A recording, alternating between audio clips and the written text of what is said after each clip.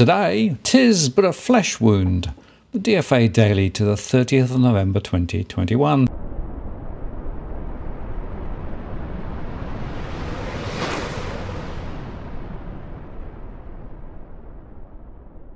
Hello again, it's Martin North from Digital Finance Analytics. Welcome to this post covering finance and property news with a distinctively Australian flavour. And just before we start, a quick reminder that at 8 pm Sydney time tonight, I'll be running my next live show, and I'll be joined by Damien Klassen from Nucleus Wealth and also from Walk the World Funds. And we'll be looking at the latest economic and financial news and consider the implications for investors both here and internationally. It's a tricky time at the moment so this will be a lively show. Mark your diaries, and we'll see you tonight where you can ask a question live. Well, as expected, markets reacted more positively on Monday after the Friday Omicron falls. The World Health Organization said that the Omicron coronavirus variant carried a very high risk of infection, and multiple countries joined the list of those who had identified cases and it advised its 194 member nations that any surge in infections could have severe consequences, but said no deaths had been linked to the new variant. In fact, children under the age of two account for more than 10% of total hospital admissions in the Omicron epicenter in South Africa, according to the National Institute for Communicable Diseases. More kids are being admitted than during the early stages of the country entering the current fourth wave of infections, although a similar trend occurred during the three waves when Delta was dominant, said Waasila Jassat, public health specialist at the Institute. South African scientists were last week the first to identify the new variant, now known as Omicron, and while symptoms have been described as mild, the exact risk from the new strain is still uncertain. Governments across the globe stepped up travel restrictions in response, and the World Health Organization warned that the variant could fuel a fresh surge in infections. The very young children have an immature immune system, and they are also not vaccinated, so they are more at risk, said Jassat, who was part of developing and managing South Africa's national hospital surveillance system for COVID 19. She said that part of the increased rate of admissions may reflect extra precaution on the part of parents given the new concern about the mutation. A paediatric report due later this week should provide more information. But multiple countries around the world, including Japan and Israel, have closed their borders to foreigners or are bringing in partial travel bans to contain the variant's spread. The variant's existence is what sent the major indices into a free fall on Friday, which of course was already a shortened trading session in the US. Airline stocks were in the spotlight over concerns that new travel restrictions would affect their recovery, though the weekend was one of the busiest for business since the beginning of the pandemic. And Joe Biden said on Monday that the US would outline its plans for combating the latest variant, though he advised those Americans who have yet to be vaccinated to get their shots and those others to get their boosters. So the S&P 500 rebounded on Monday, led by tech predominantly. As risk appetite returned, investors bought the dip, taking advantage of the sharp sell off in tech stocks. But there was also a bit of bad news with Twitter founder and CEO Jack Dorsey saying he would step down from the social media company. The S&P 500 rose 1.3%, the Dow Jones Industrial Average gained 0.68%, and the Nasdaq gained 1.9%. Big tech led the broader market rebound with Facebook Alphabet, Amazon, Microsoft, and Apple all ending the day higher. Apple was up more than 2% after HSBC raised its price target on the stock as supply chain issues that weighed on productions are expected to wane. But Twitter ended more than 1% lower after the social media platform announced that CEO Jack Dorsey would be stepping down. Parag Agrawal, Twitter's chief technology officer, will succeed Dorsey. The stock initially popped on the news. I've decided to leave Twitter because I believe the company is ready to move on from its founders, Dorsey said in a statement. Also, helping investor sentiment, vaccine makers signaled they were preparing to adjust their current COVID 19 vaccines against the Omicron variant. Moderna said it could launch a reformulated vaccine to tackle Omicron by early next year, and that sent its shares more than 11% higher. Health experts have indicated that it would take two to three weeks to learn more about the transmissibility and severity of the Omicron variant. Consumer discretionary was also among the leading sector gainers on the day, underpinned by the rise in Tesla, as well as a rebound in travel and leisure stocks like Expedia, Marriott International, and Royal Caribbean Cruises.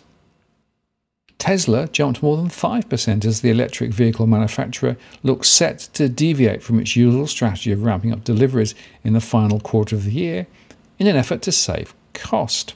Tesla chief executive Elon Musk told the company's employees not to ramp up deliveries in the third quarter and focus on keeping costs low, CNBC reported. Energy was also in demand as oil prices surged following their worst daily sell off on Friday, on expectations that OPEC and its allies would delay plans to increase production amid worries about the impact on demand from the new Omicron variant. In our view, there is much to suggest that OPEC Plus will not initially step up its oil production any further. This is presumably why oil prices today have gained by 5% or so, Commerzbank said, ahead of the OPEC Plus meeting on December the 2nd.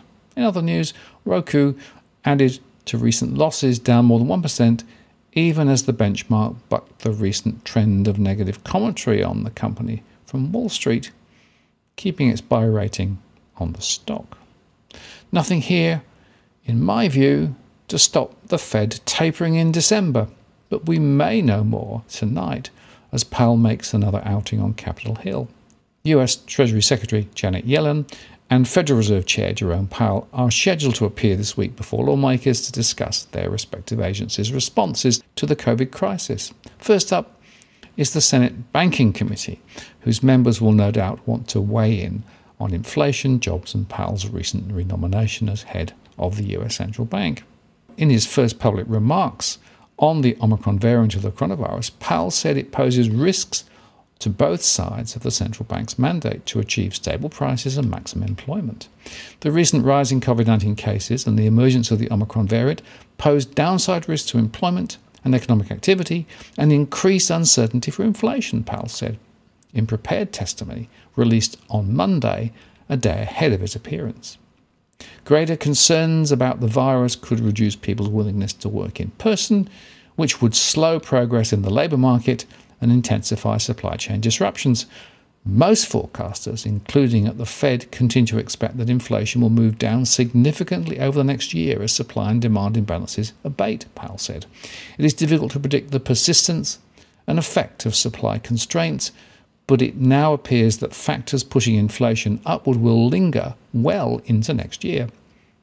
Powell, in the relatively brief text, didn't discuss specific monetary policy actions or the possibility of changing the pace of the tapering of its asset purchases. That's a key issue that other officials have flagged in recent remarks.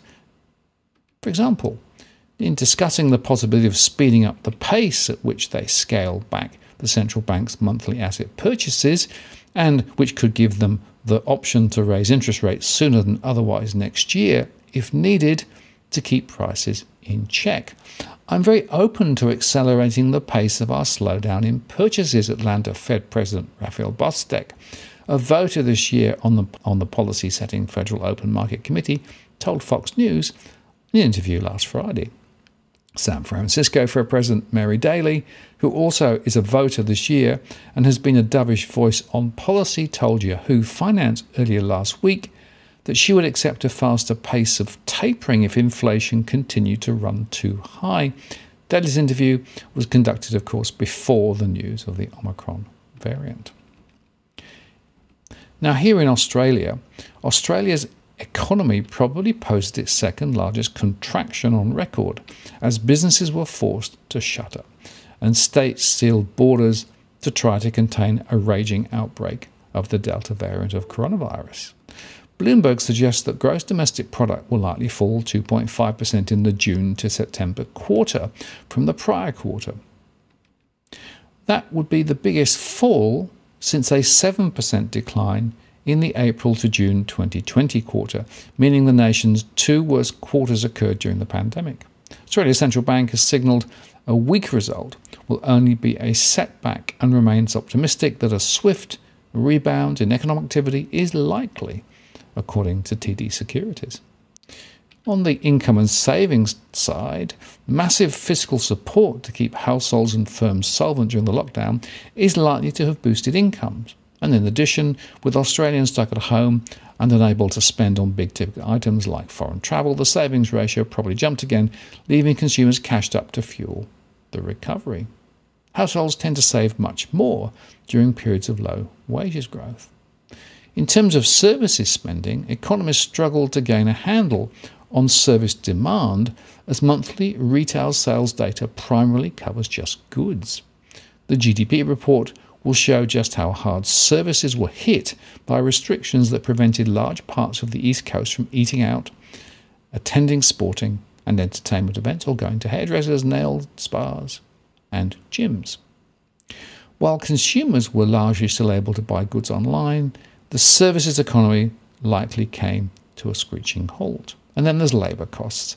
The GDP report's compensation of employees will probably reinforce existing signals in the economy that price pressures remain weak. Still, third quarter business indicators released on Monday showed the drop in the wages bill wasn't as bad as it might have been given the hours work fell 3.1%.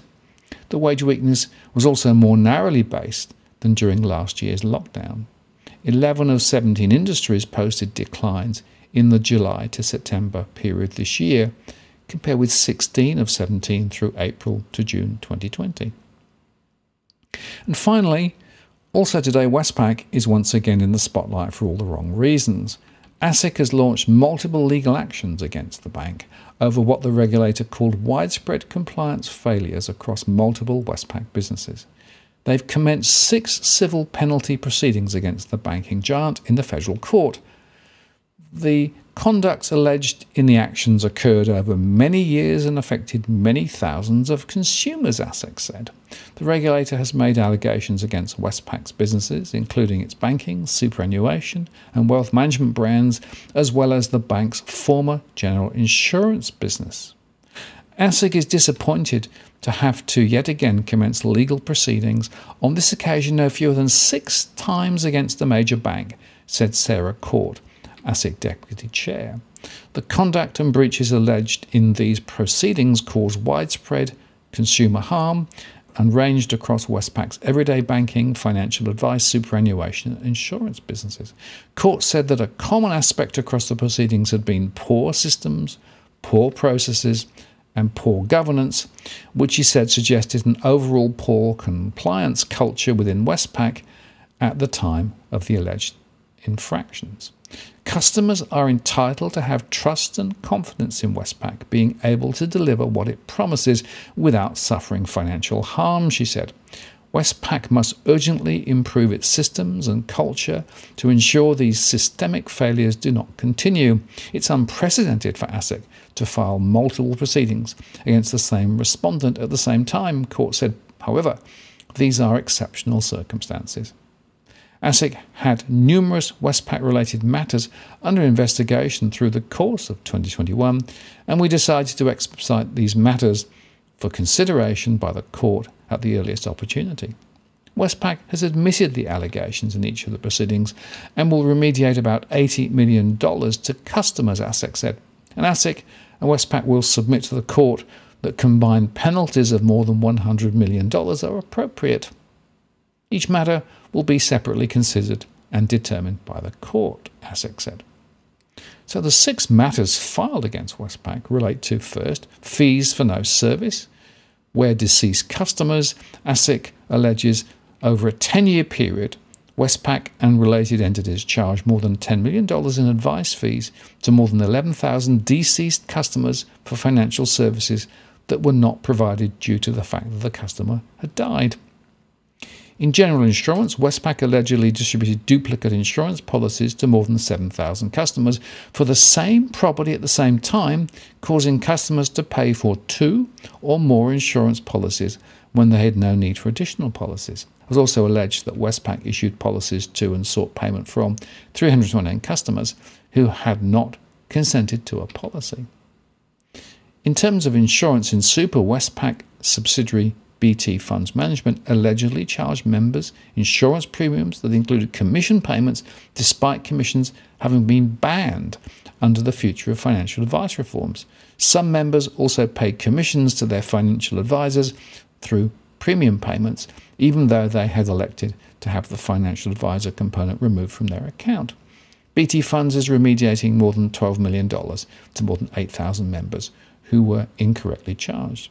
And then we have inadequate fee disclosure where Westpac licensee BT Financial Advice, Securitor and Magnitude, none of which are still operating, allegedly charged ongoing contribution fees for financial advice without proper disclosures. Some fees were not disclosed to customers at all. At other times, the amount disclosed was less than the amount charged. ASIC estimated that at least 25,000 customers were charged over $7 million in fees, that were inadequately disclosed or not disclosed at all. Deregistered company accounts, where ASIC alleged that Westpac lacked appropriate processes to manage accounts held in the names of deregistered companies. As a result, the bank allowed approximately 21,000 deregistered company accounts to remain open. Westpac continued to charge fees on these accounts and allowed funds to be withdrawn that should have been remitted to ASIC or the Commonwealth. And then there's debt on sale, where Westpac allegedly sold consumer credit card and flexi loan debt to debt purchases with incorrect interest rates. The rates were higher than Westpac was contractually allowed to charge on at least part of the debts, resulting in more than 16,000 customers being overcharged interest. Westpac and the debt purchases have refunded more than $17 million to affected customers, and ASIC also alleged that in all matters except debt on sale, and insurance in super, the bank failed to ensure that its financial services were provided efficiently, honestly, and fairly. So, this goes, of course, to the underlying management structure and processes within the organisation, and it will be interesting to see how the court reacts to this. Now, if you're buying your home in Sydney's contentious market, you don't need to stand alone. This is the time you need to have Edwin Almeida from Ribbon Property Consultants standing alongside you. Buying a property is both challenging and adversarial. The vendor has a professional on their side. Emotions run high, price discovery and price transparency are hard to find, and then there's the wasted time and financial investments that you make. Edwin understands your needs, so why not engage a licensed professional to stand alongside you? With RPC, you know you have experience, knowledge, and master negotiators looking after your best interests. So shoot Ribbon an email at info at ribbonproperty.com.au. And if you use the promo code DFAWTW slash Martin, you can get a 10% discount offer. I'm Martin North from Digital Finance Analytics. Many thanks for watching, and I'll see you again next time.